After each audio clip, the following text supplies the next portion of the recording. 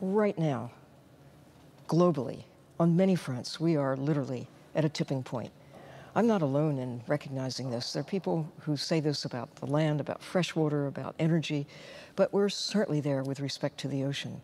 The populations of big fish and other creatures as well are at a stage where if we wait another decade, let alone another 50 years, look at the trends.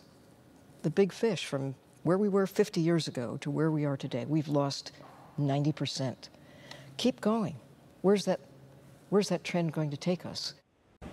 The Marine Life Protection Act is a process where we can set aside uh, special areas of the California coastline for the future, for, for the long-term benefit of all Californians. So this idea is to take as minimal an impact on our human interaction and create parks that allow us to preserve things so that everyone can enjoy them. Just like we have national parks, we have Yosemite, we want to have these areas that people can come and look and not only be in awe of the beauty, but then ultimately, as a byproduct, if we've got healthy habitat where healthy productivity is happening within all types of creatures, invertebrates, marine mammals, seabirds, and fish, as a result, there will be more fish.